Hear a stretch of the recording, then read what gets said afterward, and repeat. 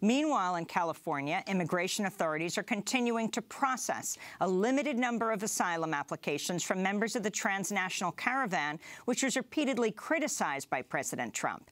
This is immigrants' rights activist Alex Mensing. Eso hace que haya un total de 25 personas. Eh, sigue siendo una desgracia que no hayan podido permitir que pase todas las personas, desafortunadamente, um, pero ya esperamos de que haya más movimiento eh, para que las, pues, las personas puedan entrar a, a. At least 100 more caravan members, mostly from Honduras, are still camped out on the Mexican side of the border waiting to apply for asylum.